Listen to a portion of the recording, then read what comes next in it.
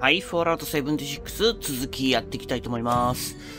本日は11月29日ですね。デイリー消化頑張っていきましょう。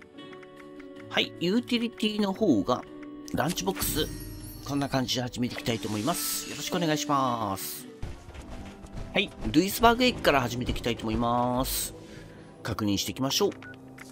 はい。茶を飲む1、アサルトロンを破壊する1、イベントを完了するグレネードを投げ、地雷投げ武器を作成する5、ぬかグレープを飲む2、フリーカメラでワークショップまたはキャンプに床、壁または天井を作成する10。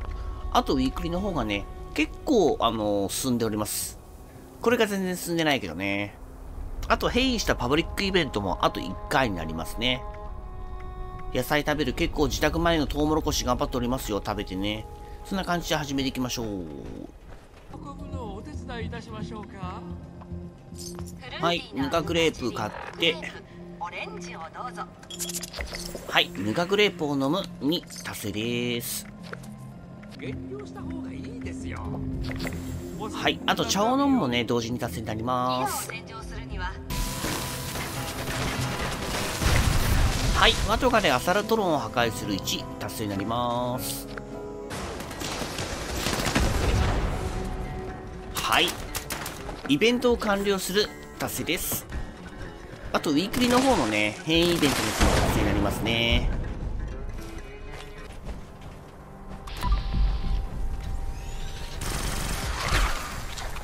はいモールラットを倒す15達成です。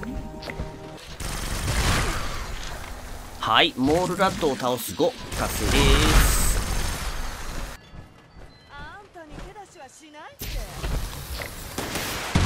はい、ブラッドイーグルを倒す30。ウィークリー達成になります。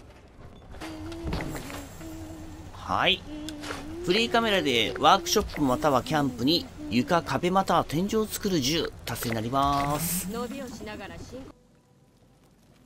はい。あとはね、シェルターに入ってきたんで、投げ吹きまたはグレネードみたいなね、作成するということで5達成になります。そんな感じで、本日のね、デイリーすべて達成になりますね。あと、ウィークリーの方もね、ブラッドイーグルとかね、あの、モールラット。この辺を終わらして、あと、変イベントも終わったね。まあ、残すはね、こんな感じ。だからちょっと頑張って、ね、ライター、タバコとか回収しに行かないかんなって感じだけどね。まあ、とりあえず今回パートはこんなとこで終わりたいと思います。